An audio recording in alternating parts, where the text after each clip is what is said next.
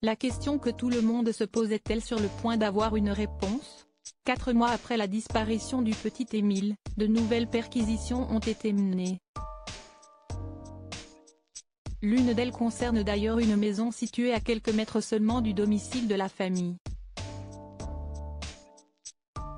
Ce mercredi 8 novembre, cela fera quatre mois que le petit Émile, deux ans et demi, s'est volatilisé dans le hameau du Haut-Vernay où il débutait des vacances chez ses grands-parents maternels.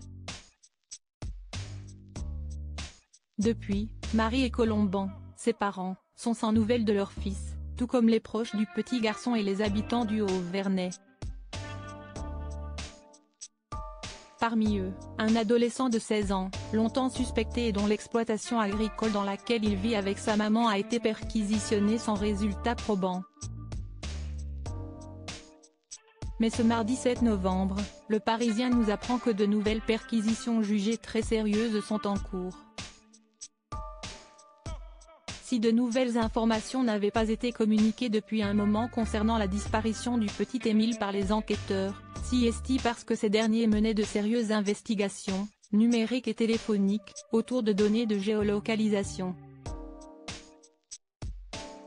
Ce travail de longue haleine a permis de lancer de nouvelles opérations judiciaires de grande ampleur, près d'une dizaine de perquisitions ont débuté ce mardi matin et se déroulent dans des lieux disséminés dans un rayon de plusieurs kilomètres autour de la commune du Vernet.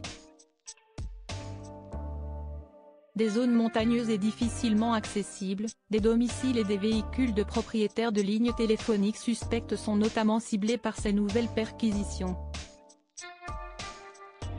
Mais, comme le Parisien le précise, l'une de ces perquisitions se distingue des autres.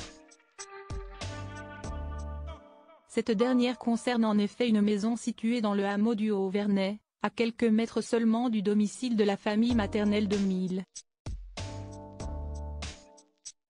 Si ces recherches ne veulent en aucun cas dire que les habitants de la maison sont coupables, les perquisitions pourront peut-être permettre d'identifier un suspect. Gros travail sur les lignes téléphoniques Le Parisien est en mesure de confirmer que les gendarmes de la section de recherche de Marseille ont analysé toutes les lignes téléphoniques et déplacements recensés dans le secteur le soir du drame. Au total, ce ne sont pas moins de 1600 lignes téléphoniques qui ont été recensées, puisque dans un créneau horaire proche de la disparition du petit Émile, Quatre mois après le drame, le dénouement de cette triste affaire va-t-il enfin avoir lieu?